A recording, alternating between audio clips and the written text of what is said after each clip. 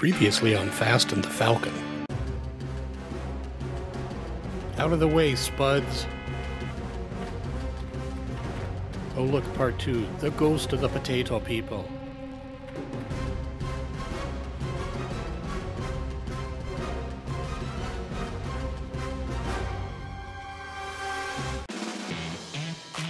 State of Survival podcast, bringing you survival game news.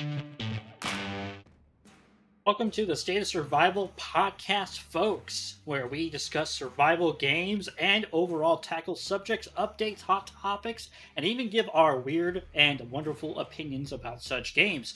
Jarl, what's going on this episode? Well, today we're talking about the complexities of survival versus luxury. Now, I can't speak for everybody here on the team, but I know when Dump and I play survival games, sometimes I'll say, Are we surviving or are we thriving? It's generalized as a statement to how well you're doing in a survival game. We've all scraped and scrounged, barely survived, got our butts kicked from time to time, but there are times where you can hit excess food, excess water, and top gear, and that's how you know you're thriving.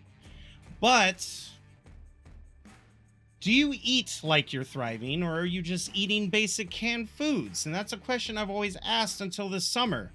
The Long Dark's latest expansion, Frontier Comforts, changes everything.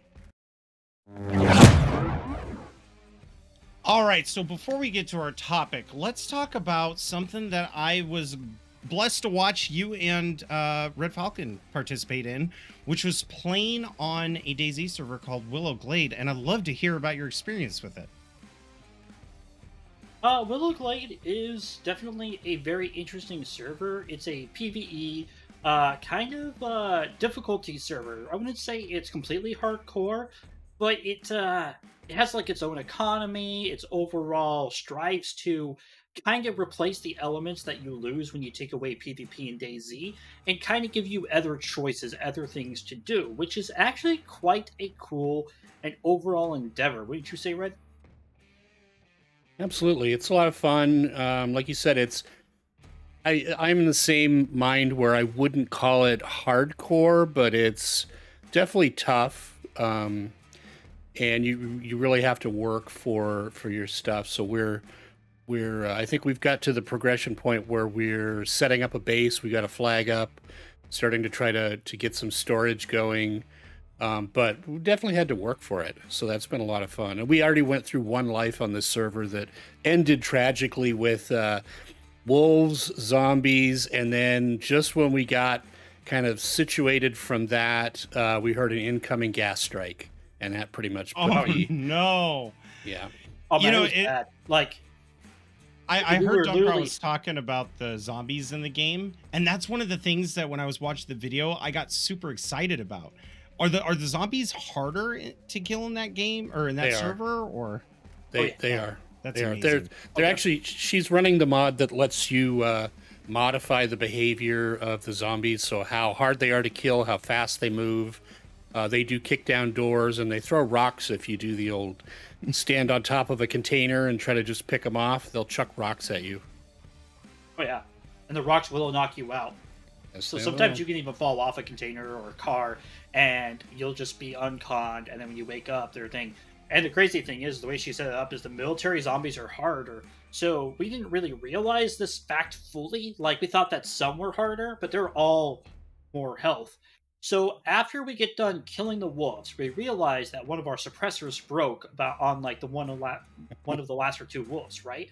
So then we start getting swarmed by zombies. So we literally are like fighting off the zombies, shooting them, and like I'm starting to bandage while Red's holding off a couple more, and then all we hear is a boom, and we both look up, and we don't even say the word run. We just both sprint as fast as we can, and I make it out. Uh, however, Red, having to deal with the zombies, didn't get uh, to run fast enough because he was already out of stamina, so he got um, just barely enough toxin in his blood. And as we were trying to find a possible cure, which is Pox and Daisy, Red unfortunately and The funny thing is, is later that day when I logged back in to like kind of get away, I also logged into a gas zone. no, So no. so that was my fault for not living earlier. But it is a really good server for people who enjoy PV and the grind. Uh, folks, I've been playing the game for well over probably 20 plus hours on that server alone. And like Red said, we're barely just getting a base up and going. Uh, you can't sell my um, stuff in that server. You can do that. There are no cars for you to fix up. You have to buy vehicles. So everything is by foot. So it makes it a little bit harder to get that uh, starting collateral going. Um, and you can't buy anything unless someone sold it, which is really yeah. cool because it has that true pl- kind of player economy.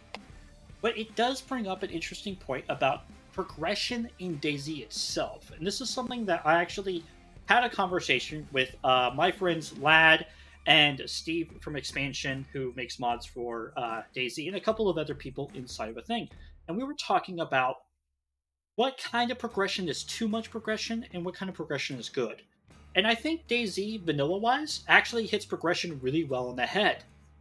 You progress to survive in DayZ, but there is a point of progression in DayZ when you're no longer, like Jarl said, living in survival mode, you start becoming living in luxury.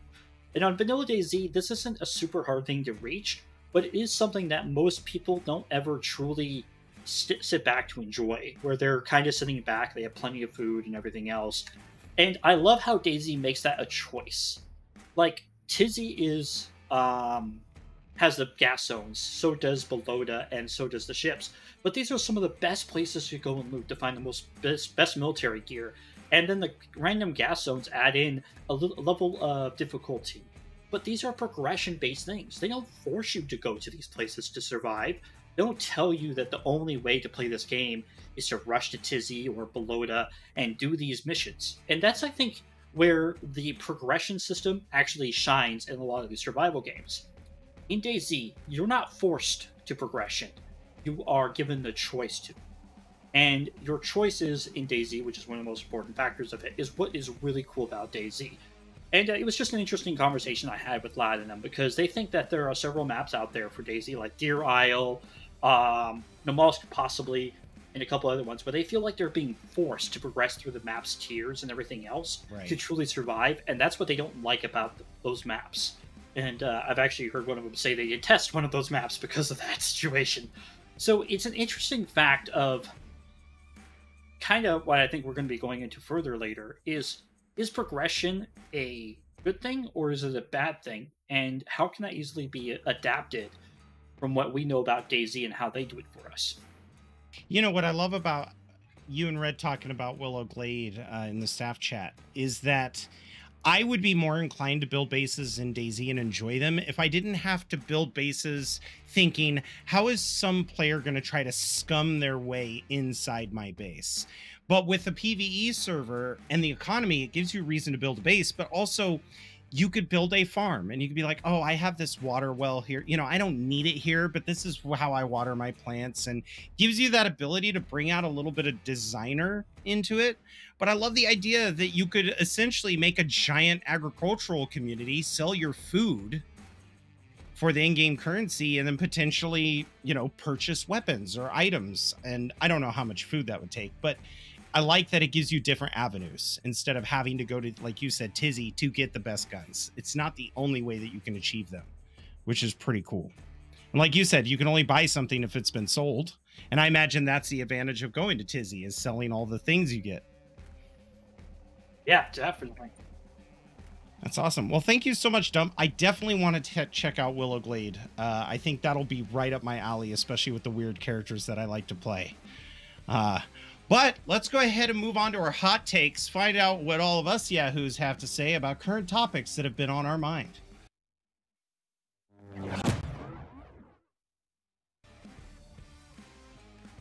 All right, Red Falcon, you're the first one up. Let us know what's happening happening in your neck of the woods and what you have for us for your hot take. What's been happening in my nape of the neck? Well, just busy, busy work, work, lots of stuff going on. Too way too many projects stacked up. Uh, as usual, I've oversubscribed myself, so nothing new there. Um, but for my hot take, I wanted to talk about the game Dead Matter and the debacle of their early access release, a little bit about the history, and some of my experiences messing with the game.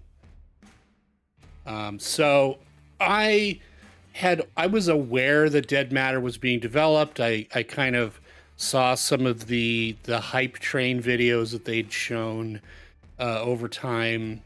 Um, you know, was was excited for for a new game to come out that was first person zombie survival genre. Um, and so and I really didn't pay a lot of attention to the backstory and didn't dig into it much. It just was like, this looks like an interesting game. And you would have think that I would have learned from uh, the day before uh, to to dig into these a little bit more. But it was uh, unceremoniously and suddenly released in early access. Um, so I got an announcement because I had it wishlisted and said, "Oh, I better go grab it. Let's see what this is all about." And I let Dumpgrah know, "Hey, this just came out. We should check it out." And uh, so I went and got it, loaded it up, 145 gig later. Um, jumped in and it was a complete train wreck. It was like Oh they no. it was like whatever they'd been working on since 2018 uh, had been thrown in the bin and they'd put together a game over a two week period with scraps. So, uh, and I did a little short uh, video, it wasn't a short, but it was a, you know, couple four or five minute video with just some comedy clips and some just me making light of the the disaster it was. Um, so looking back at history, this is an example of you can have a very good idea. You can even have talented developers if you don't have a solid, experienced head of studio and C-level executives running the company. It can totally train wreck on you. So they had um, Indiegogo, Kickstarter, and then some undisclosed but suspected Tencent investment. Um, it so it was in. confirmed. Oh, it is confirmed. Okay. So it was the amounts I'd heard everything from a total of up to $9 million invested in this game um, over that time. Well, of course, everybody goes to what did they do with the money? You know, did it go to, to, uh, to, you know, villas and party boats and stuff? But the reality is, for that kind of tech company over that period of time, that really isn't that large of a budget. And especially if you've got a team of 10 or 15 developers making the money that developers typically make, uh, they could burn through that very easily. They could see that. But apparently, there'd been a lot of immaturity in leadership. There'd been a lot of turnover. When people would leave, they'd rip out parts of their code and redo it, or you know, just not focus on the proper things. Um, so they ended up releasing this thing and then hiding behind the well, it's early release. What do you expect? And so one of the things I wanted to bring up, in line with the progression story, is around playability and and the claim that this game is playable. Well, it does load. You can go in game. Uh, you can fight zombies, sort of. They're kind of when it was originally released, they were eight bit Nintendo 64 zombies that didn't move. Um, but there was no story. So even their little prelude story of well, you're in Alberta, Canada, and you know, post-apocalypse, blah blah blah. But when you think about a game, a game is really a story that your character is the center of. Right. And we go back to, you know, the the the campaign mode type games where you're it's kind of on rails as they say and you're you don't have a you could deviate a little bit but it's pretty much you're following their uh, scripted storyline and it's kind of like being in a movie you have a little bit of control but in reality you don't um, and then you get the open world stuff where how do you maintain that same story where you're the main character of your story um, in an open world? And that's through progression and putting things out there in such a way that you can make choices and it affects your personal story but it's still very progressive and it and it continues to move. It's not just you jump in and you kill zombies and that's it. Um, and that's where all their game does right now is you jump in and you can kill zombies and look around and that's about it so there's no story so there's no game Right. Yeah. So I'm That's It was interested- terrible. yeah with that concept of like uh you know progression as a way to move your personal story i'm interested in your guys thoughts on on that You know, honestly, that's one of the reasons why life life is why I love Life is Feudal Your Own. Life is Feudal Your Own has no guidance. It's very open world. Is there a story? There's no pre-constructed story.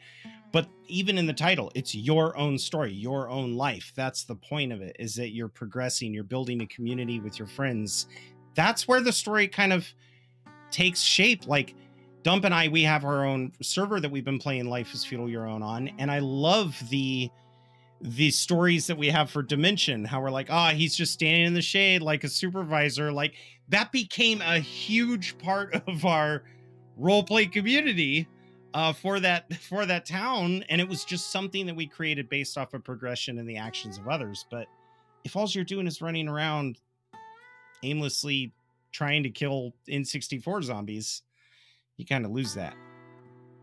Yeah, I mean, it, it's good to have a story for progression. Uh, but I still hold to the fact that progression should be a optimal thing.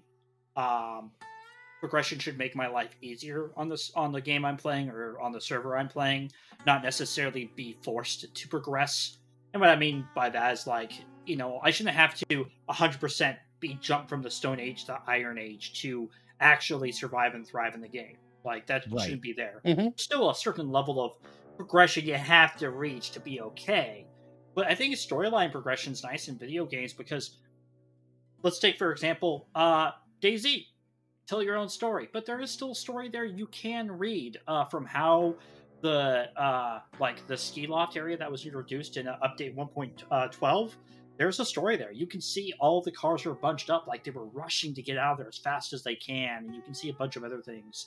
Um, you can see the carnivals and the um, you know you know little uh, festival areas they were having a festival when this all hit there are sto- little stories you can glean from it um, and you know, even from other kind of games like Green Hell I've been playing, there's a story there too. Do you need to follow the story? No, but it's there for you to learn about, for you to progress with. And uh, it's kind of cool. So I think that storyline progression in survival games has a good, important part to it to play to it because it can actually give you a purpose when you run out of your own creative ideas to give you uh, purpose. Exactly, right. exactly and and also to the point that red made about how nine million dollars isn't a whole lot of money in the terms of game development the one thing that will cause you to leak money like a sieve isn't oh they're buying lodges or yachts it's not having a good project management team Mm-hmm. Project man- management teams are critical. Time and money. They manage that. They make sure that every team is doing something that facilitates their skills to the best of their ability, that every section of the game is being deployed in a timely fashion so that everybody's working and there's little time wasted. With bad leadership, you could have three weeks where no progress is being made, but that actually costs money the manpower you know you think of the utilities of the place there's a lot that goes into that so yeah absolutely and i'm loving absolutely. that picture of the lakes yep and this was to to kind of uh, put put a uh, put a cherry on top of this little little sundae. um, that was the result of another player taking their pants off and you can see it's the player on the oh my right god they have no legs that's right. So the player body parts don't show at this point. The shadow was just your clothes, not your body, and the shadow wasn't animated. Um, and then and you you can see yeah. he took his pants off, and then it just where they were floating in basically the character A pose up in the air. So if you take your shirt off, it does the same thing, and you can't put it back yeah. on. So that was just kind of the comedic, just how bad it was. Uh, okay, that's, I have the perfect funny. example for you folks of how bad the zombies' faces were. If anybody's ever watched The Office and ever watched it when Dwight cut the face off a mannequin and put it on his own face, that's how detailed the faces looked. oh no. That's how bad it was. Um imagine no hair. Like Yeah, yeah, yeah. Uh, so there's yeah, a there's a link imagine. in the chat. There's a link in the chat to that video if people want to check it out that haven't already. I get that's a chuckle awesome. out of it still uh, I had a lot of fun making it. So, so that's my hot take. It ran a little long, but I thought it was uh, it was a pretty interesting topic. Oh, that's cover. good. That's good to know though, because for uh, I was even excited for Dead, Dead Matter. I was just sick and I felt this illness coming on, so I didn't jump on the bandwagon, and I'm kind of glad I didn't. There's actually a PS to this. So there is a game that developers that had left the Dead Matter team several years ago have been working on their spare time called Vein and it's actually pretty far along. It, it still doesn't have a full story, but as far as functional mechanics and graphics and uh, things like that, it's a it's a pretty fun little play, and it's currently free on the Steam Workshop. They're going to keep it free until they get it to a point that they think it's worth people paying for it. See, and that goes back to project management, right? Because they're doing that in their spare time, where the time they put into it is being properly used because they're passionate about it. Whereas this was their big project that they didn't manage the project correctly on, and it's leagues behind. Yep. Oh, that's so frustrating. Yep, yep. So Vein, Vein, go check it out, definitely. And that's my well, everyone. Uh, uh, before I hit my hot take, I just wanted to give everybody a little update on what I've been doing. I have been playing Starfield since uh, the early launch for anybody who got the premium edition, and I pretty much beat the game on my Xbox. Uh, so I started another playthrough on my channel where I've modded the game. So we've got about 60 mods running. So that's kind of what I've been focusing on. I was going to be doing more with it this weekend, but I became very ill. And Monday was bed rest day, uh, as well as today. So uh, definitely we're going to be returning to our form Um, tomorrow there's no Dungeons Dragons because we have a play a special map being made by one of the players who's kind of critical to the storyline who's no longer in the campaign. That should only be two or three weeks, and then we should have that up. So tomorrow you could expect more Starfield. Uh, Thursday, definitely going to be touching base with Dump to see if there's something that we could play together for uh, SOS research, and just because I miss playing games with Dump. But my hot take is this Every holiday season sees its fair share of full releases and early releases for many game genres. And this year in particular, with 2023 and 2024, we're seeing a lot of survival um, early releases being talked about and games that are coming out. And I was just browsing some of the forums with Pacific Drive, which I think is going to be an excellent game given what it is. But I noticed something. People compare the next survival game to be the next big one, the DayZ Killer, the Rust Killer and I say that it does not have to be a DayZ killer. It does not have to be a Rust killer. So long as the game is challenging, entertaining, and has some depth and some immersion to it, a survival game can come in different shapes and forms. It doesn't have to be a game that is coming after Rust or DayZ for the title of the most consistently played survival games. Let them have their own identity let them have their own image and don't compare them to games that don't make sense to compare them to. Instead, if you're interested in the game, purchase it, play it for what it is. And I think you'll have a lot more fun instead of walking into it with a negative mindset. And that's my hot take. That's actually really cool you say that, Jarl, because I know that we're supposed to be a survival game podcast, and I can't say that we have the kind of rep that the game channel Game Rank ranks has. But GameRanks came out with a um five survival oh, 10 for survival games you need to look at in 2023. And one of those survival games was Frostpunk 2. Now, if you folks don't know what Frostpunk is, you're, you're it's a game where you're trying to build a city in a frozen tundra, and there's tons and tons of challenges. But GameRanks is a huge channel, millions of subscribers, and that video got well over a million views. And it's really interesting in our view, my view personally, to see how large of a breadth survival games truly have. Because when I started this podcast, I actually didn't think that there was that large of a breadth of survival games.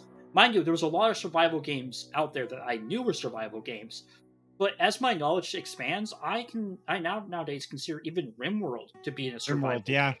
Um, it is really interesting to look at that. So as we talk about these kind of game, uh, folks games, it's really cool to hear more about this from Jarl. Um, you know, I, I may be caveman minded, but my idea of a survival game is resource scarcity and covering the basic needs of you your team or even the population of people within your city. So you need to monitor their sleep, their health, their food, their water. You know, once you're going to that level of micromanagement, it is definitely a survival game. I wouldn't consider Crusader Kings 3 or Stellaris survival games, even though they feel similar to RimWorld.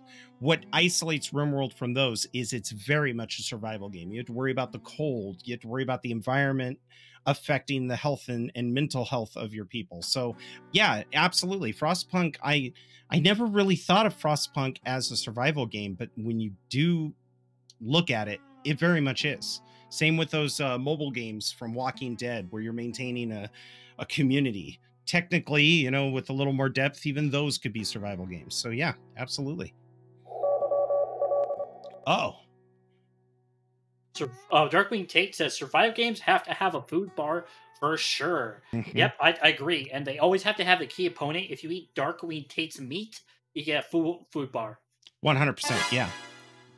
They should also have Um, a water bar because let me let's admit it. That's the one thing that's hurting Sengoku Dynasty's early release. If it had the need for water, it would feel a little more like a survival game.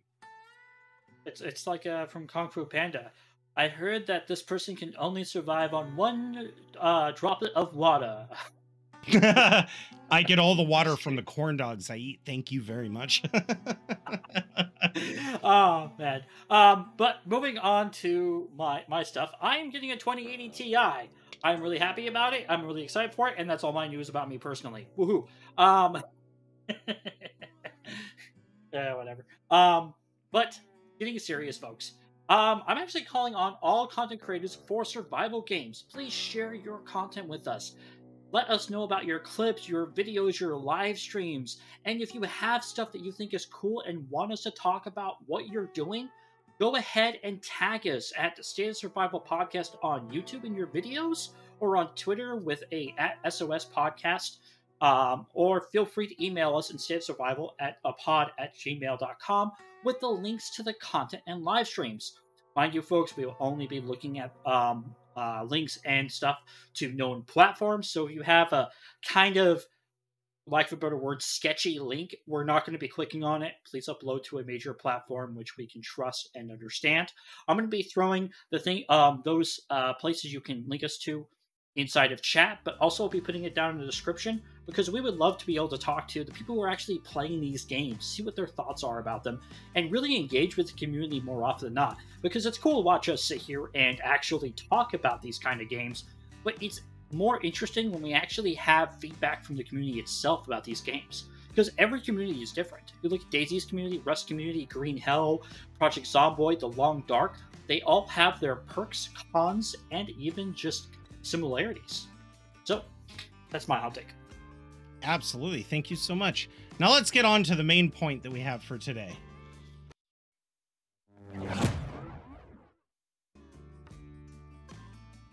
So, surviving or thriving? A common term that Dump and I use all the time. Surviving, that insinuates the struggle, clawing your way through, problem solving, getting the resources you need. And if you don't have the proper resources, what kind of things on the fly can you do to try to get your hunger meter full? And then there's thriving, when you're already sitting there with the top gear and you've got everything under your belt.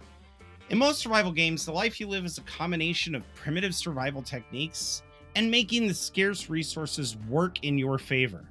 So, my question for the guys here in the podcast are what are some aspects of survival games that could use a little luxury without breaking the game? I would honestly say that I think power is a luxury that won't break most games. And I'm not talking about pure electrical grid power.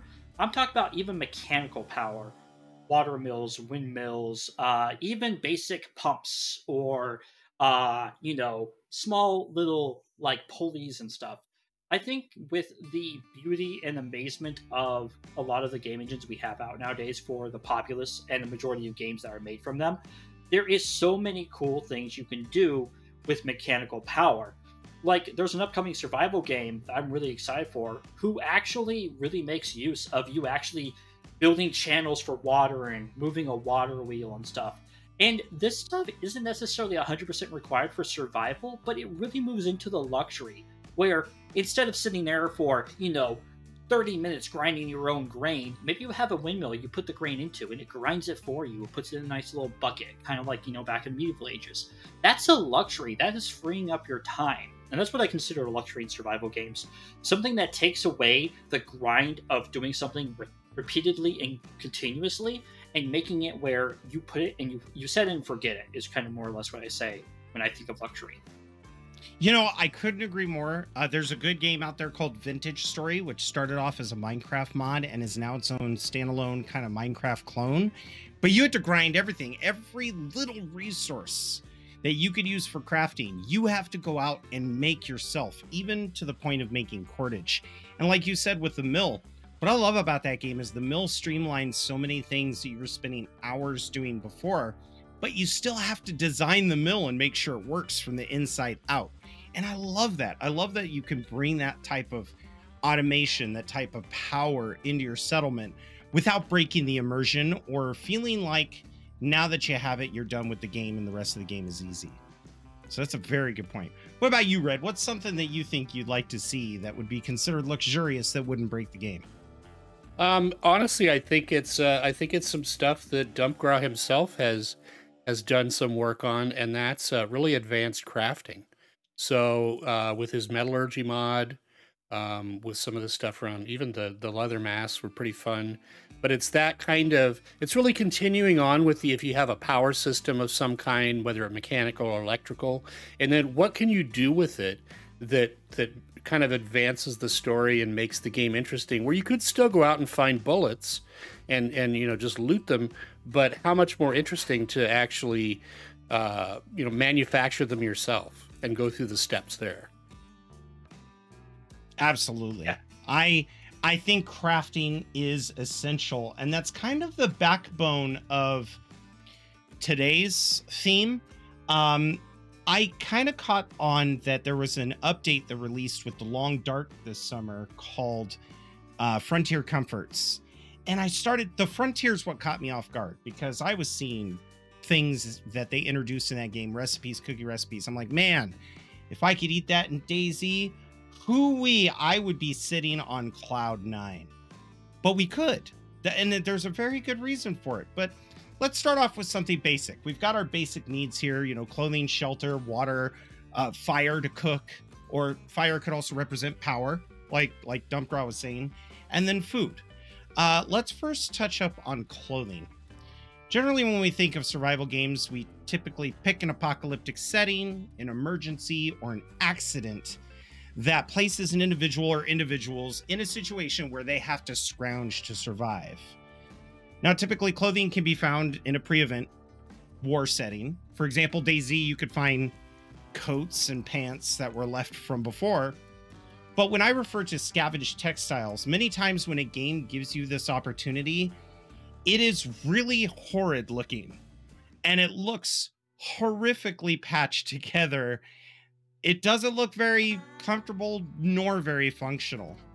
Um, but in a setting where the world isn't going to get any better anytime soon, I find it odd that your character can't find a pair of scissors and utilize different materials to make something that looks good.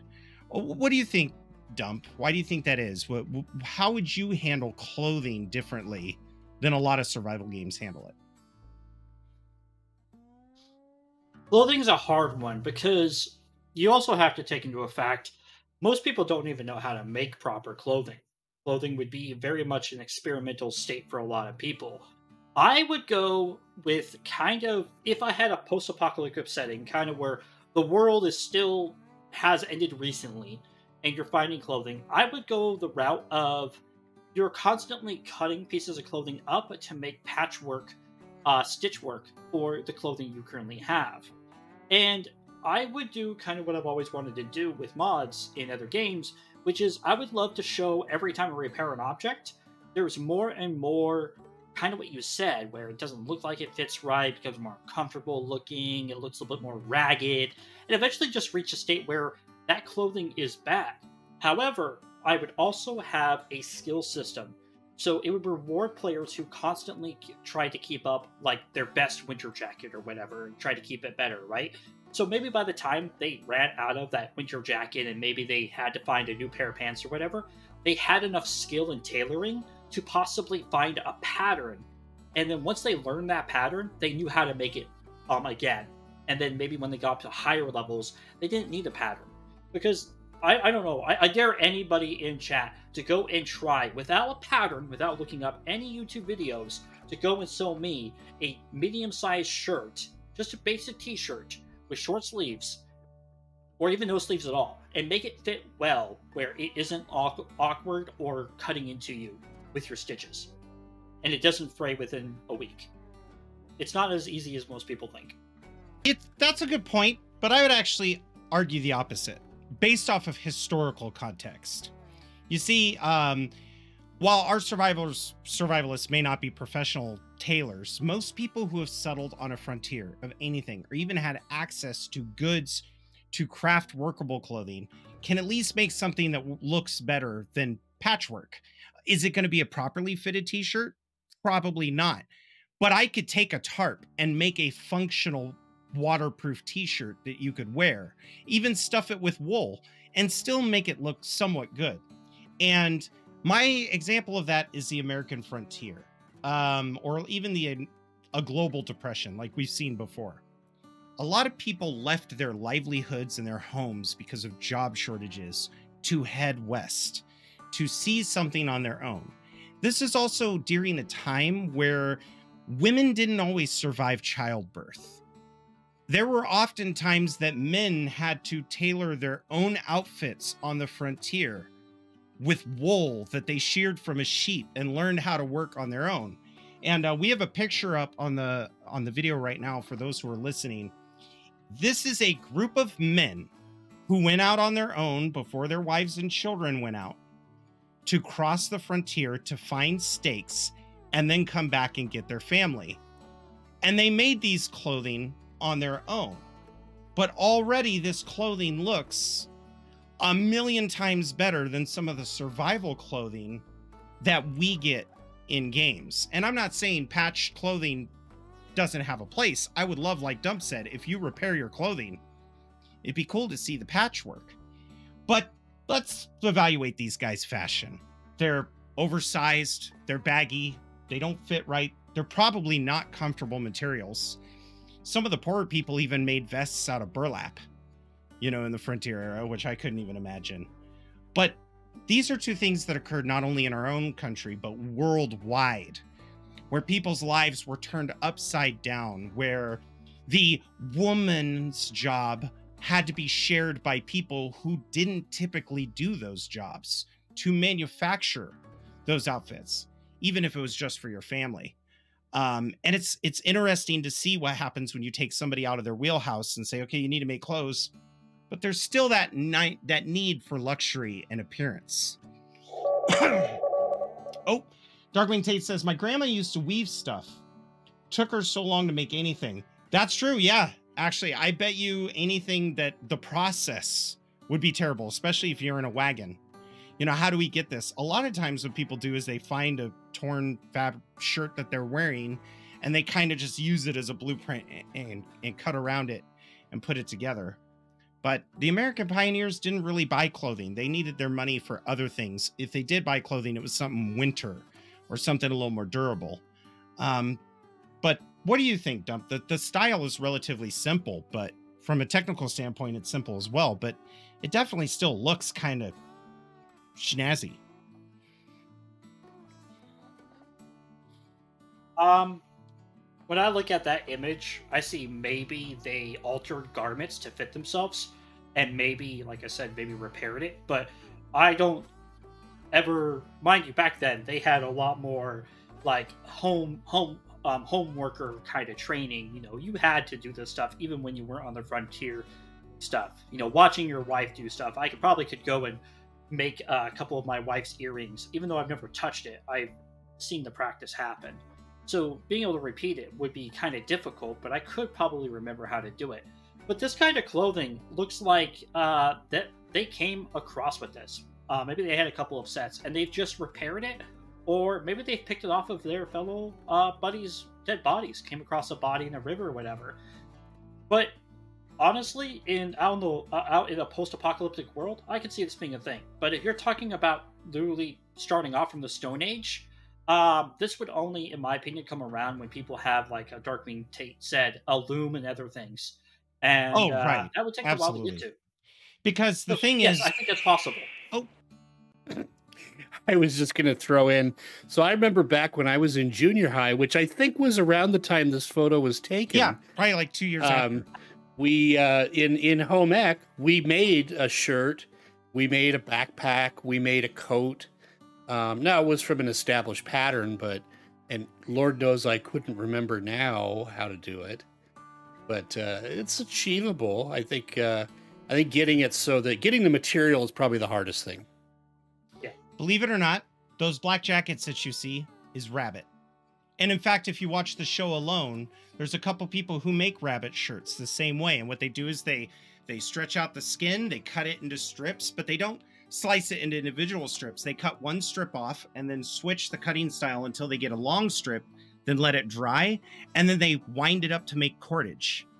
You know, in any survival, Okay. whether it's post-apocalyptic or anything, making cordage is a key skill. So if you could set up a trap, then you can hunt these rabbits, put them into strips, and that is actually a rabbit skin jacket. Um, the a lot of times when you see their vests and such, what did they use for material? You're right. Maybe it's canvas from their wagon. Maybe it's something else. But there were a lot of times where if you're in a survival setting and you have to worry about making winter clothes, your first set might be booty. And I agree. In the caveman, you know, you're talking about Stone Age, making your own set is kind of going to be an achievement in itself. But even the poorest people in the medieval ages still had matching tunics and stuff that they made with their bare hands. And a lot of the times it wasn't always skilled workers who did it, which is remarkable. I don't know if you've ever seen those hand looms, but it's like a weird spindle that you would put wool around, and it was like a rake. You would rake the wool and then create your twine with it and continue to rake the wool and then pull it back and make your own cordage with it. Of course, those are tools that you would have to have ahead of time, but it was very much something. Uh, even mountain men, when they made their own leather jackets, and it was something they made and then added to over the years, they still looked leagues better than some games. No, I think you both made some really good points here, and it's really cool to hear about the rabbit skin thing. I will leave with this, and it's me being a little bit cheeky. I think that if you took any generation of maybe boomer and back, they can do this. You take my generation and forward, they may have some difficulties. And that's where I have to combat you and say, I don't think so. Whereas boomers were taught to do this in home ec and stuff, the millennials and Gen Z are the Etsy generation. They've been making cosplay stuff out of scrap and they're not even trained. And some of the cosplays look just like the video game props. They're self trained. You know, yeah, they spent a lot of time in it, but the world is over. You have to be able to make your own clothes and your own in your own boots. Uh, I would actually say that the biggest downfall is our next, our newest generations don't have to make the stuff that they make. They don't have to make their own clothes or they don't have to hand make a cosplay if they can just go and buy the things from the Bethesda. I'm going to buy a laser gun from Fallout. Hey, look, guys, what, what do I have? But there are people who are taking PVC pipes that aren't engineers and they're just they're just messing around and learning as they go. And you have to realize going from the East Coast to the West Coast, that was almost a year long trip. So by the time you got to the West, you knew how to make a sock. It may not be a comfortable sock, and your socks may not even match, but it is interesting to see. So that's a good example of luxury versus barely surviving. This is thriving, whereas surviving would be tarps stapled to each other. Uh, So, next up, we got food. Food is really big, I think, in any survival game. And uh, this topic is an important one for me as somebody who writes his own homebrew RPGs. I think of Tolkien when I think of it, uh, where it's, he said, um, and I'm going to read the quote because it's a good one.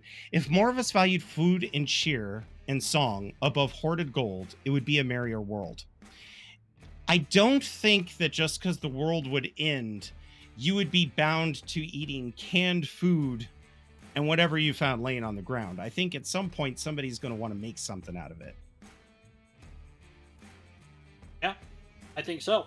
Um, there is a great. Uh, I'm not sure if anybody's ever seen it. There was a documentary on Netflix a while ago called "Beer Saved the World," and it was about how uh, people who were just uh, scavengers and uh, hunters um, found a puddle that had been essentially fermenting wheat inside of it.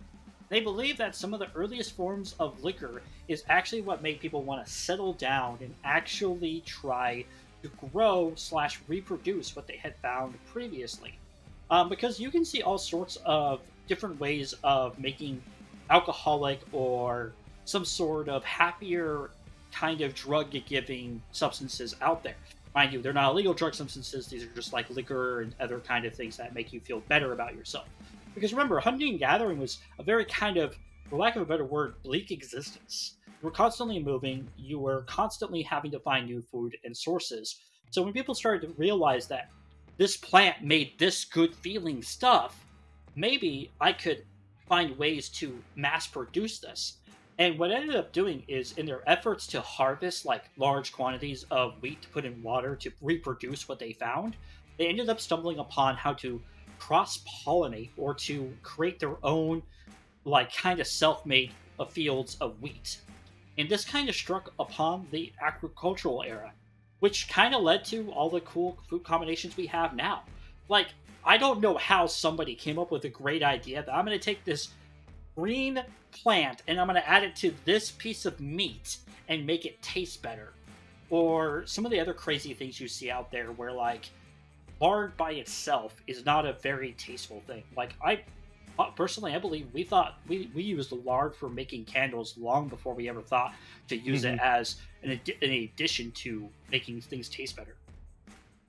No, you're absolutely right. And it, the earliest forms of this can be seen in the Middle East and the Mediterranean, where they use spices to change the flavor of their food. In fact, spices were some of the most expensive things you could trade.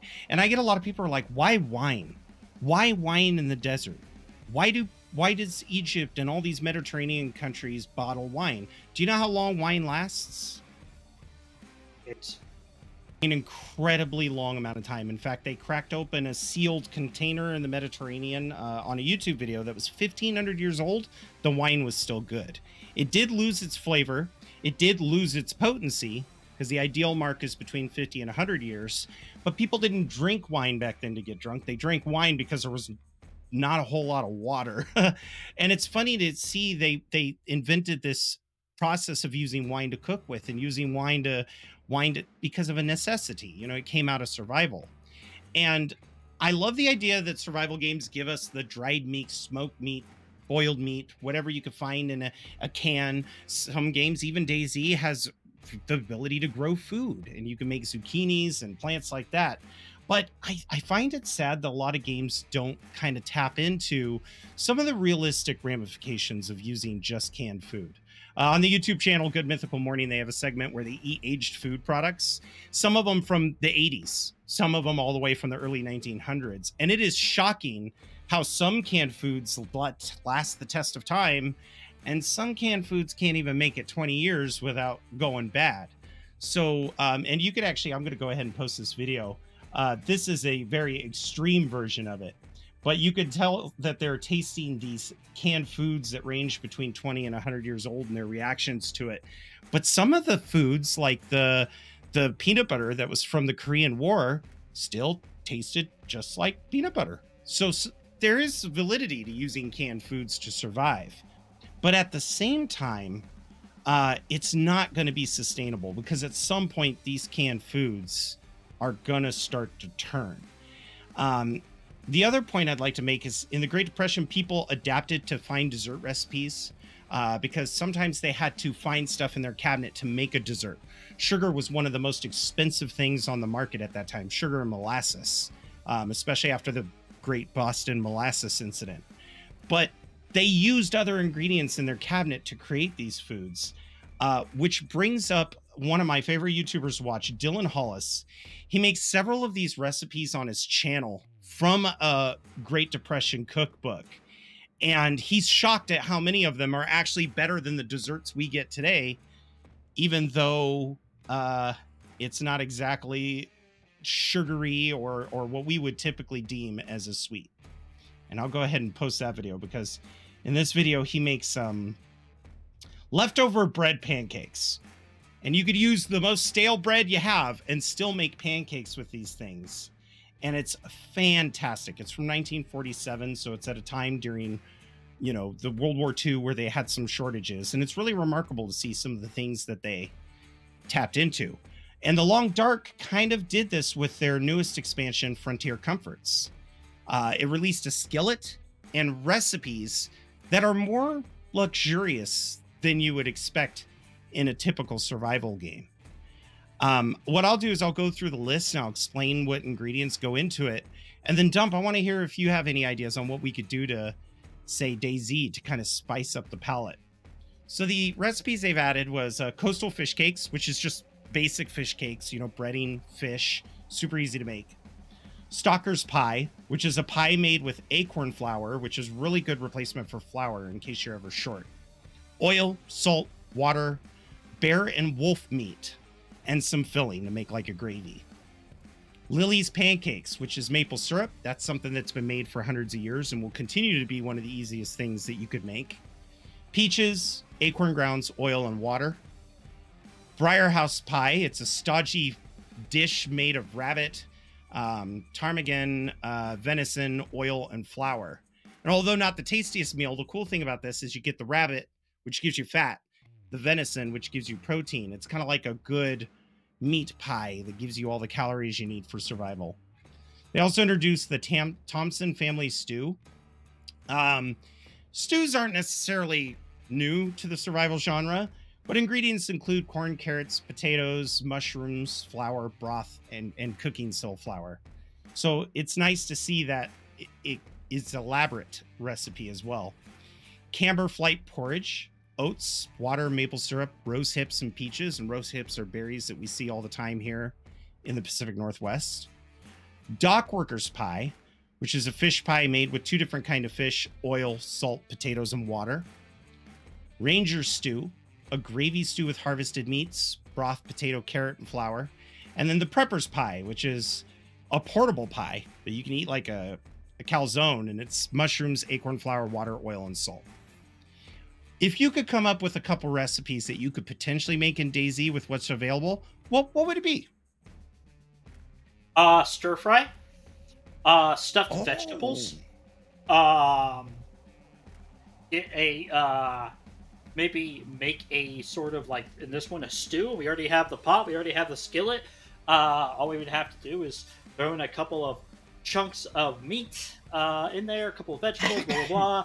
Bob's your uncle. Um, you know, even stuffing meat itself, cutting a slit, stuffing stuff into it, baking it, boom, a more elegant yet very simple meal to make. Um, even uh, I would say even um, uh, even making uh, desserts using uh, the sugar that you would get by grilling uh, different types of vegetables like bell pepper, maybe uh, if they introduce corn or kind of stuff to make kind of a sweet tasting thing and make a little bit of sweets. But yeah, so uh, I think that's the kind of stuff I would do. I love that. I love that. And it just gives a little more. I mean, if you're thriving out there, you don't have to eat like a peasant, right? and then that brings us to lodging. A lot of times when you see these survival games, um, it's the most simplistic lodging at first. You know, of course, storage containers, things that you can gather to to shore you up. But if you're going to be out there for a while, you might as well actually build a home. And I'm glad to see that there are more games like that introducing this kind of system. Sons of the Forest is one of them. Uh, but there, there's definitely a chance to build, even decorate a base.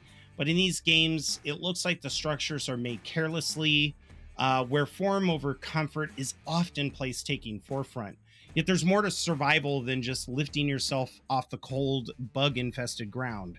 Sleep and mental health is incredibly important.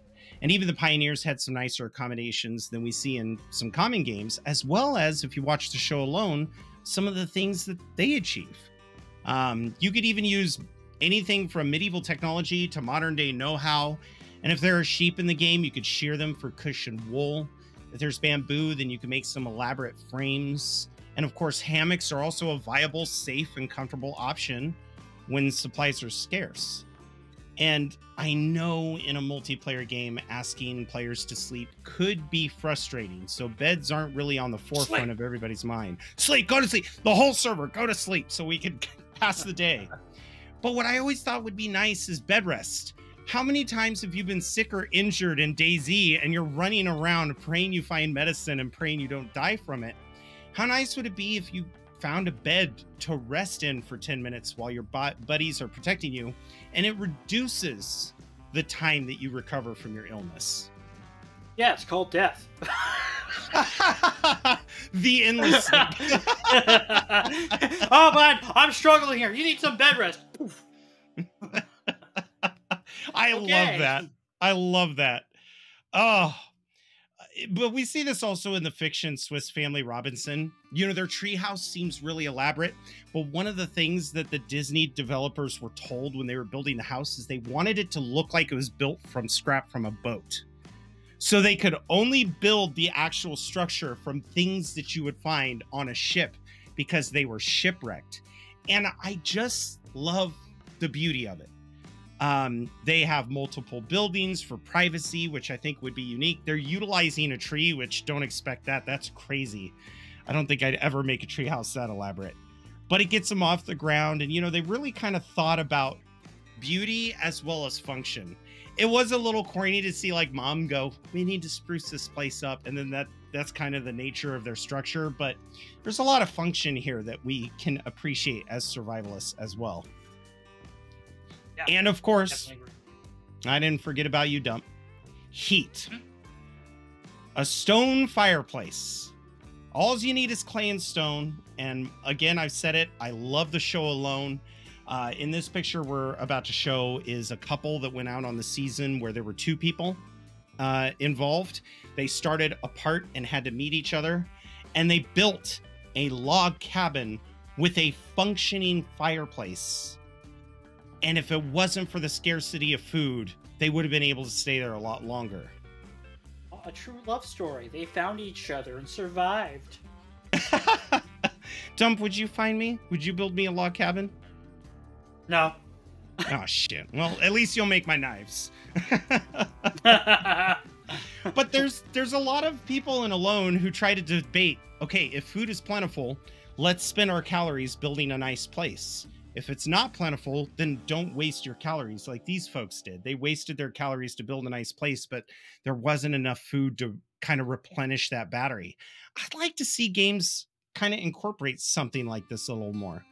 Uh, like in Sons of Forest, you could build a fireplace in your cabin. It's it's little things, but I don't see why in a zombie post-apocalypse you can't build a clay and stone fireplace and add just a little bit of comfort to your home living.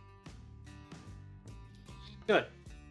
I think it's all about uh like when it comes to eating properly, it's all about moderation.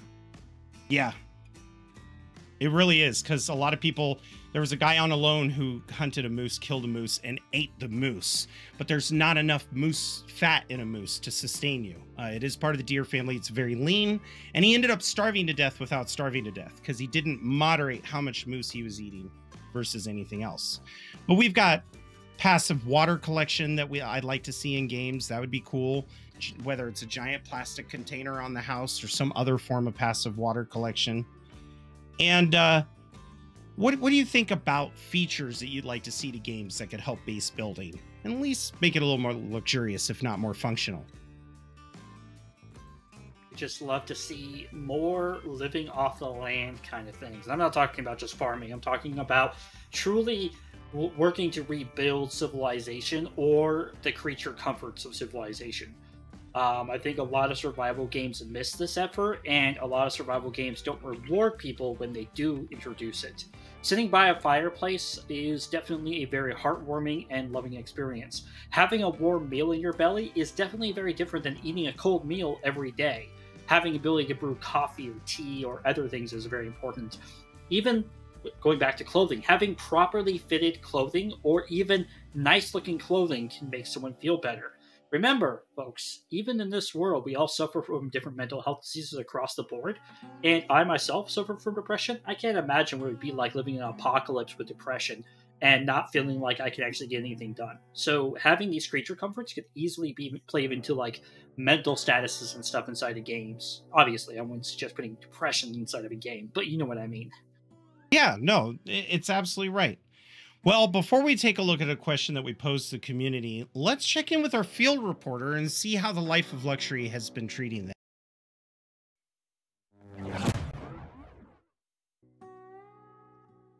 Who do you think Right it's going to be? fireplace. This... Do you, do you think it's going to be Earl or Dave? Hey, Dave. Oh no. I mean, hey Dave, my man Dave. How's it going? Uh Dave, you've been you've been living the life of luxury. Why don't you tell us how that's been? How have you been enjoying your sweeter food?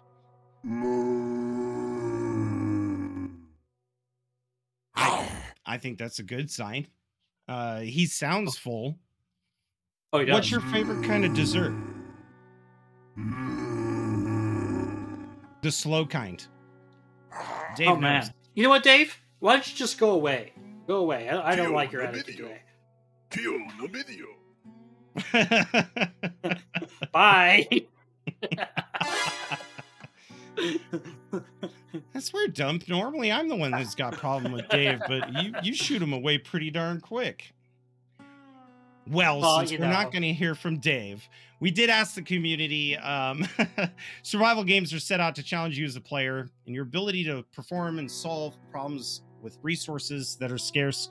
What do you think surviving versus thriving looks like to you? What does thriving look like to our community?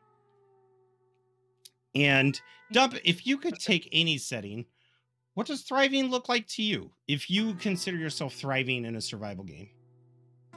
if I consider myself thriving in a survival game, it means that I have a warm place to place my head and I know that there is food waiting for me to eat at the end of the night. Nice. What about you, Red? What what kind of makes it like when you're like I'm thriving? What does that look like for you? Imagine, if you will, Warlord. Big comfy throne, lots of minions. Um, all I do is chop off a few heads here and there and keep the peace. Oh my god, you sound like Lord Farquaad, Genghis Khan. I, I'm immediately, I'm immediately getting Marco Polo vibes from that show on Netflix because I love the set design of that place. Comfortable furs everywhere, huge throne. Okay, okay, fair enough. I think That's right. thriving for me would be never having to worry about ripping a hole in my pants as being life threatening, or never trying to determine who's getting the last can of peaches and just some bread. Honestly, bread in a post apocalypse, that would, the smell of it cooking, I think bread would be so amazing. If I could just make some bread, I'd be happy. Nice. But with that being said, we've already gone over our visions of what thriving and surviving look like as we discussed shelter, clothing, food, and resources. But uh what are we doing next week, Dump? Well, next week, folks, we got an awful good treat for you. Next week is going to be Hel Kiana from Daisy Mining, and we're going to be actually talking to her about her efforts in time making her own survival game she did a little while ago. Folks, I hope you guys are excited because on October 10th, Hel Kiana is coming here, and I'm very happy for all of you folks being here. Remember, folks, to give us a subscribe, and I appreciate everyone coming here. Have a wonderful day and or night. See you then. See you then. Bye bye.